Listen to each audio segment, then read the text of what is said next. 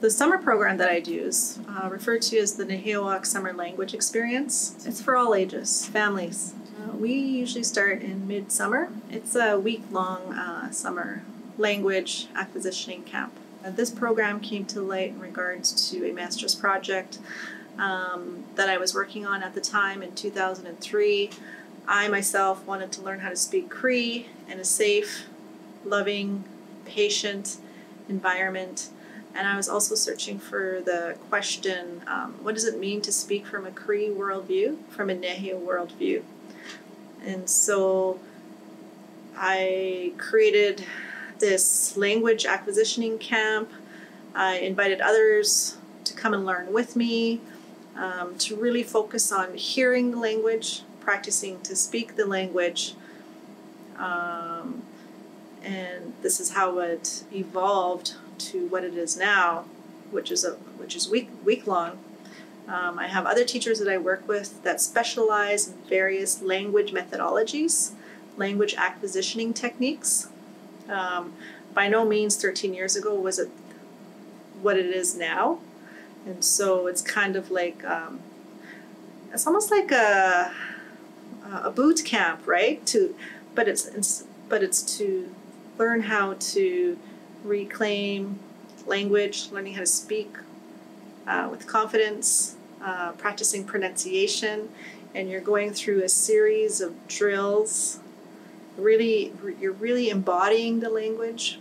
Um, so that's what it is now, reclaiming language. In regards to success and challenges and trials and tribulations, um, so I've been really thinking about this a lot since uh, I was first asked to come and question or come and ask about this camp.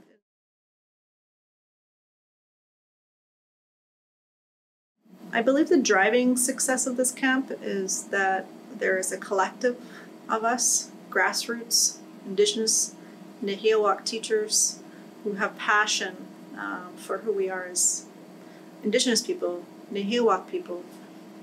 Um, so I would use that as one of one of the indicators. Um, what you need to have to make your camp successful, right? So you need to have like-minded people, people who are passionate about the language, um, people who are patient, and people who know how language development works. How does second language development work? Um, although it's our first language, but how do we teach others how to speak it? How do you scaffold people's learning? Uh, teacher training is really, really important. Um, again, that was one of my, um, I guess, one of my challenges when I first started out um, because at the time, my beginning teachers, we didn't have that type of methodology or that type of training. But after looking at research and looking at other uh, language acquisitioning techniques, language theory, language development, um, it's definitely, um, we've made a lot of strides that way. Um, so that would be a challenge, but it's also um, become one of our one of the best features I think that we can offer as a language camp. Award-winning teachers, language teachers, teachers who have theory and practice and experience. Um, all of those um, would be successful indicators. Um, again, so some of the trials, I guess, that we've come to experience is that so again, we're going back out onto the land. Um, this is where we come from. Our language is rooted in the environment. It's rooted in the ecologies of where we come from. Um, and so going back to the outdoors, there's lots of things to consider when doing that, right? It's working with the weather, it's working with the people, um, it's having a mindset of um, coming together and living together for a whole week. How is that going to look? How, how, are we going to eat together? Um, what is the menu going to look like? Are we going to eat um, traditional foods? Um, so, all of those things you really have to think about. Um, also, the idea of safety, Um, all kinds of safety measures. Do people swim? Do they know how to swim? Can we get into a canoe? Wild animals, wild bears, um, uh, just safety of the environment, of who's all camping there, etc. So all of those things you have to take into consideration. And I guess another deep, an under, an, another underlying deep epistemolo- epistemological issue too that I've come to experience is so we've been colonized, right? By Christianity. And so initially, and this is what this is what the, the focus of the camp is still on.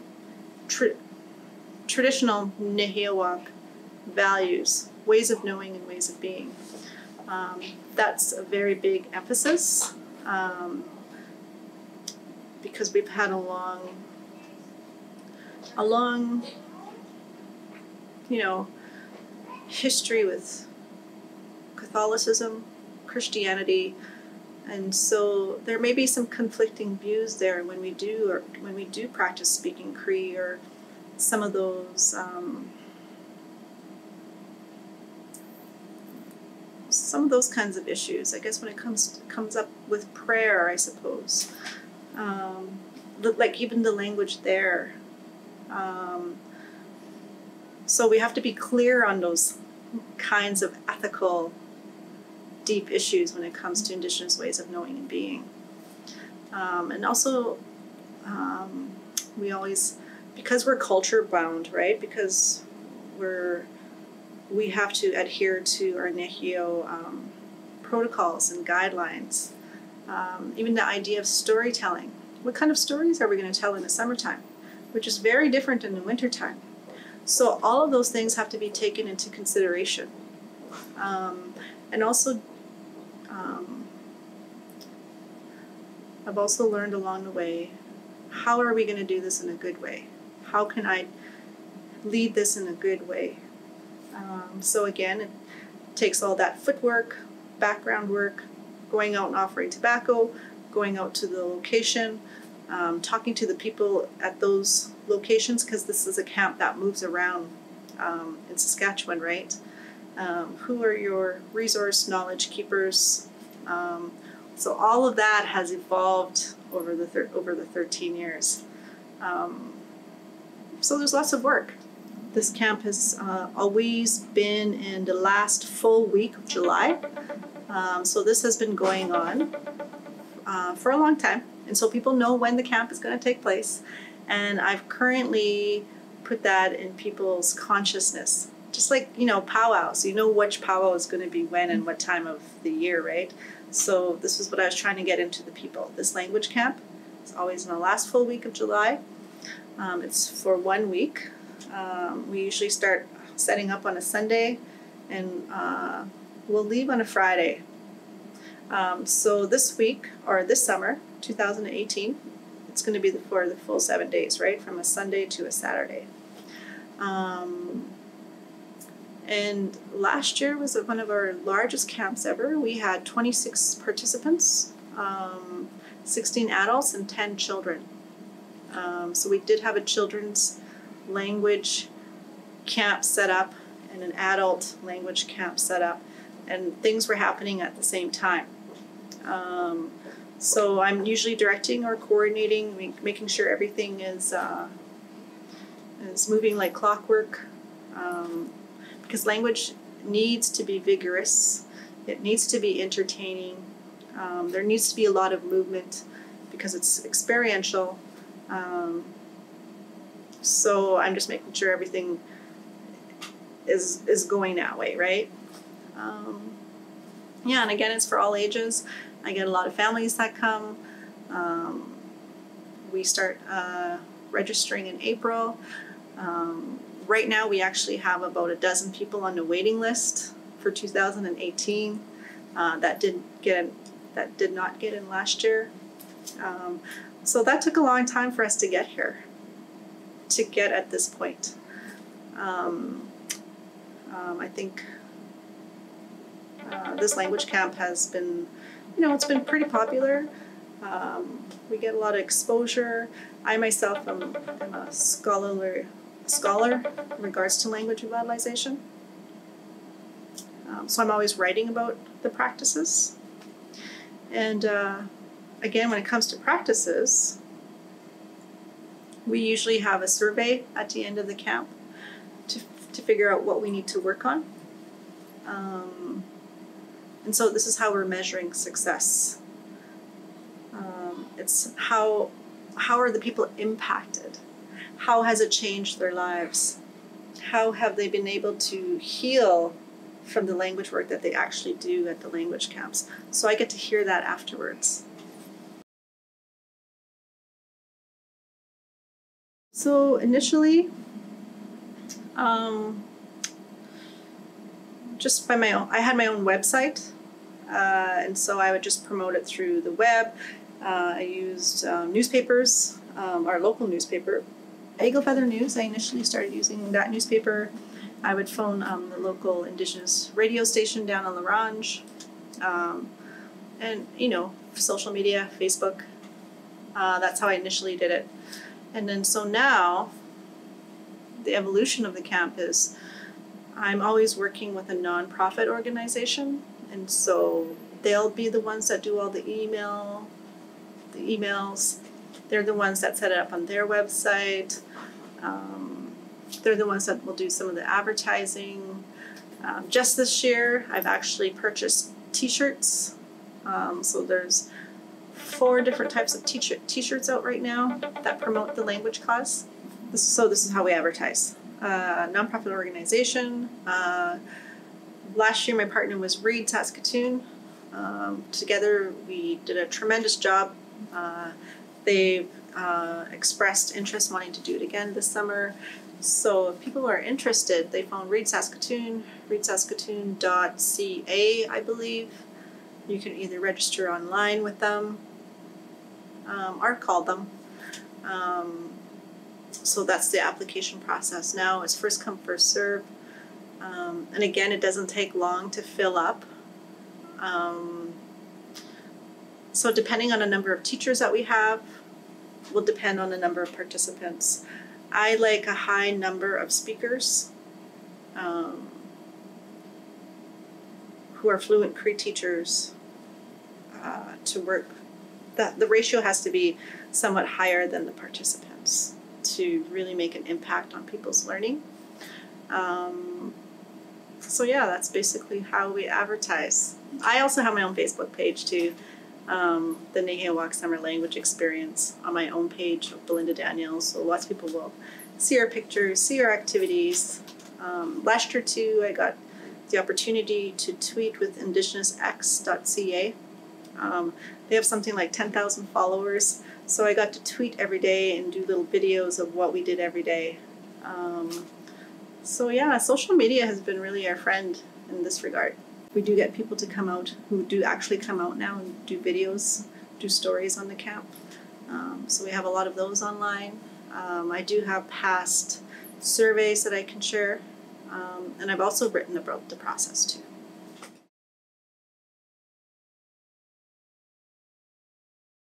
I guess for the most part, it's the people that the people themselves that have to define their own life learning.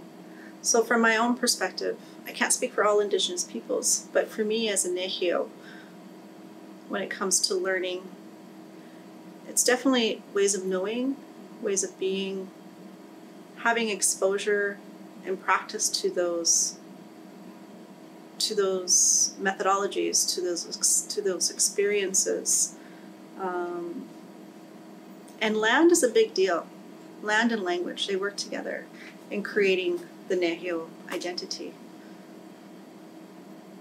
So for me, that is that is our education. Um, this is what our ancestors wanted. This is what our treaties were about. Um, our education system was never was never to be like this in a classroom, four walls, rows. Um, it was to continue with our ways of living, speaking the language, um, um, adhering to our kinship systems, knowing what our natural laws were, Um, it was all of that. Um, learning how to be stewards of the land, um, practicing um, land based practices, um, taking care of the land. Um, so, all of that is what I believe is Nehiyaw education, Nehiyaw ways of knowing and being, Indigenous education. Um, yeah, that would be my answer.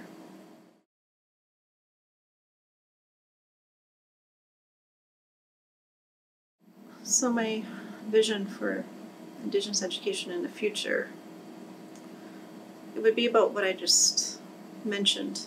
Um, would be having the choice to be out learning on the land and with the land. It would be being surrounded by uh, all of our relations, understanding those connections, being taught by our knowledge keepers. Um, having exposure to language, um, learning how to speak our languages, um, and becoming, you know, whole and complete Indigenous students who have high regard of their Indigenous identity, that walk around with that, you know, that pride and um, self esteem of who they are and where they come from. Um, to me, that's what Indigenous education is. When students can identify their ter- territories, um, aspects of their land, um, can identify um, the significance of plants and trees and waters and aspects of like animal uh, hunting, um, all of that is my vision for Indigenous education. Um, and having our own autonomy, our own control of Indigenous education. Um, this is where the National Brotherhood, they're one of their founding principles, Indigenous control of Indigenous education. Um, let's continue with that with that wish, um, that warrior's wish. Uh, my friend Stan Wilson mentioned that the other day. Um, to me, yeah, that's what Indigenous education is. I'm not doing anything new. Um, I'm just remembering the practices of our ancestors. I'm remembering the practices of my great grandparents and my grandparents. Um, and at the same time, I'm decolonizing education. Um, I'm only doing what was said and mentioned in our treaties. Um, so I'm remembering that. And it is so important because right now, I can say this as an educator an Indigenous Nehiyaw educated, educator. Um, graduation rates in a mainstream setting aren't doing our people any justice. We're not we're not graduating. Our Indigenous youth are not graduating at the same level as non-Indigenous peoples. And I've mentioned this before. Um, in regards to mainstream education, we can have um, a new strategy or a new practice but what if the system's broken? Um, because of the legacy of residential schools, right? Because of this because of this legacy of being made to read and write English or read and write French. Um, that deep historical trauma of ripping our identity into two, we're still healing from that and um, a, a mainstream education. It's not the solution. So again, I'm just remembering how did my great grandparents learn? what did they do? And it's not even that long ago. Um, me as a child, yeah, I learned to love and appreciate and give gratitude um, to my home territories, to my um, to my community, to the land that I grew up on. Um, that was the best education ever. Um, we had a lake in the backyard. We had a hill in front of our house. Um, so being outdoors, that was our nourishment. It still is. Um, so this is why it's important for the future. Land can teach us about who we are and where we come from.